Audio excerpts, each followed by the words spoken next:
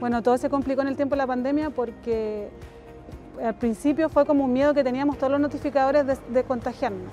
Generalmente ando con doble mascarilla porque por el tema de lentes el protector facial a mí no me, me es un poco incómodo. Eh, siempre que voy, siempre que golpeo, golpeamos una puerta me echo alcohol gel todos esos implementos los otorgan en el centro de notificaciones que sí que siempre están a la mano y, el cuidado de cuando llegamos a la casa. La mayoría de la gente está en su casa y no, maneja mascarilla. Es, muy poca la gente que sale con mascarilla. Eso para nosotros yo creo que es una complicación grande, pero, pero con el fin de poder entregar la notificación y, tener contacto con la gente lo menos posible, uno intenta entregar el documento rápidamente.